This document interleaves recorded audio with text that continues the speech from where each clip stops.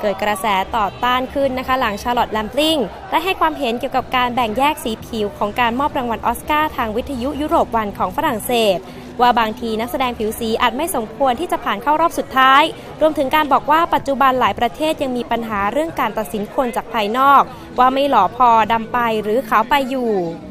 ล่าสุดนักแสดงฝีมือดีวัย 69 ปี ผู้มีชื่อเข้าชิงออสการ์ในปีนี้ จากเรื่อง 45 Years ได้ออกแถลงการผ่าน CBS News นะคะว่าเธอรู้สึกเสียใจ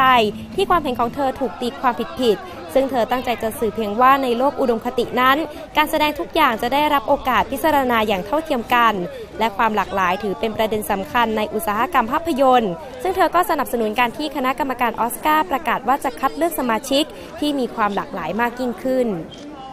โดยเวทีการมอบรางวัลออสการ์นะคะได้รับการคอรหาบ่อยครั้ง ว่ามักเสนอชื่อแต่นักแสดงผิวขาว ไม่มีความหลากหลายทางเชื้อชาติ ซึ่งประธานกรรมการสถาบันศิลปะและวิชาการทางภาพยนตร์ของสหรัฐเชริลบูนไอแซคได้ประกาศเมื่อวันที่ 22 มกราคมที่ผ่านมา